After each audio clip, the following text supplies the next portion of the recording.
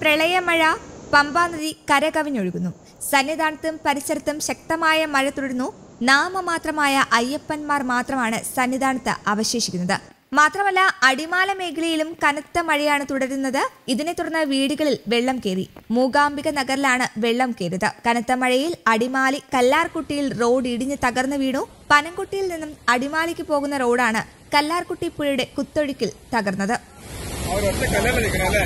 അത് ഈ വില ഈ ഉണ്ടെങ്കിൽ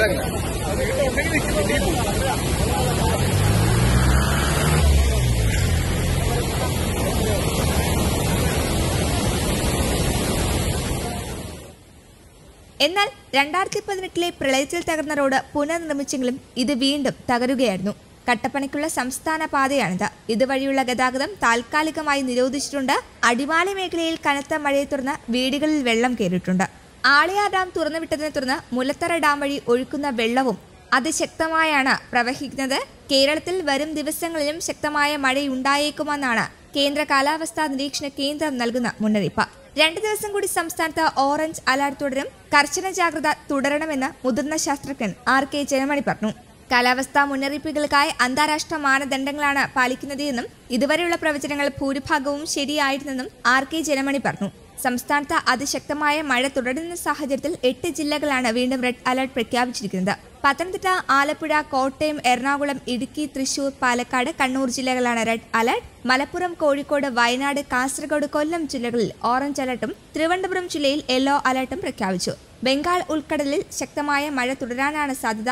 പത്തനംതിട്ട ജില്ലയിലെ പമ്പ അച്ഛൻകോവിൽ മണിമല നദികളിൽ ജലനിരപ്പ് ക്രമാതീതമായി ഉയരുന്നു. ചാലക്കുടി പുഴയിലും ജലനിരപ്പ് ഉയരുകയാണ്. ചാലക്കുടി പുഴയുടെ തീരത്ത് നിന്ന് ജനങ്ങളെ ഒഴിപ്പിച്ചു തുടങ്ങി. സംസ്ഥാനത്ത് മഴക്കെടുതിയിൽ മരണം ഇരുപത്തിരണ്ടാണായത്. കാസർഗോഡ് വെള്ളരിക്കുണ്ട് കൂരാങ്കുണ്ടിൽ ഒഴുക്കിൽപ്പെട്ട റിട്ടയർഡ് അധ്യാപിക ലതയുടെ മൃതദേഹം കണ്ടെത്തി. പ്ലാച്ചിക്കര ചെക്ക് ഡാമിന് സമീപമാണ് മൃതദേഹം കണ്ടെടുത്തത്. വീടിന് സമീപമുള്ള തോട്ടിൽ കഴിഞ്ഞ ദിവസം ഒഴുക്കിൽപ്പെടുകയായിരുന്നു. വയനാട് തൊണ്ടർനാട് ടിപ്പർ ലോറിയുടെ കാരിയറിലെ വെള്ളം കളയുന്നതിനിടെ ഡ്രൈവർ വൈദ്യുതാഘാതമേറ്റ് മരിച്ചു. കോഴിക്കോട് മാവൂർ സ്വദേശി ജബ്ബാറാണ് മരിച്ചത്. തൃശൂർ വലപ്പാട് മൃതദേഹം കണ്ടെത്തി. കഴിഞ്ഞ ദിവസം വള്ളം മറിഞ്ഞ് കാണാതായ ആളുടേതെന്ന സംശയമുണ്ട്. പുതിയ കാലാവസ്ഥാ മുന്നറിയിപ്പിന്റെ പശ്ചാത്തലത്തിൽ ഉച്ചയ്ക്ക് ശേഷം മൂന്ന് മണിക്ക് പമ്പയിൽ നിന്നും ശബരിമലയിലേക്ക് കയറാൻ അനുവദിക്കില്ല എന്ന് പത്തനംതിട്ട ജില്ലാ കളക്ടർ നേരത്തെ അറിയിച്ചിരുന്നു. വൈകുന്നേരം ആറു മണിക്ക് മുൻപായി ഭക്തർ സന്നിധാനത്തു നിന്നും മലയിറങ്ങി സുരക്ഷിത സ്ഥാനങ്ങളിലേക്ക് മാറണമെന്നാണ് കളക്ടർ നിർദ്ദേശം നൽകിയത്.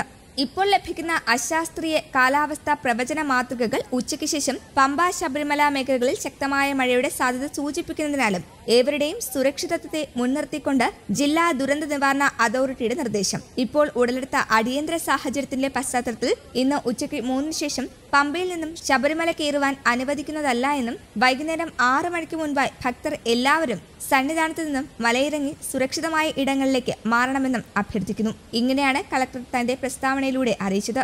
പമ്പ മണിമല അച്ചൻകോവിൽ നദികളിൽ ജലനിരപ്പ് ക്രമാതീതമായി ഉയരുകയാണെന്നും തീരത്തുള്ളവർ ജാഗ്രത പാലിക്കണമെന്നും കളക്ടർ അറിയിച്ചു. News desk Kerala Kaumudi.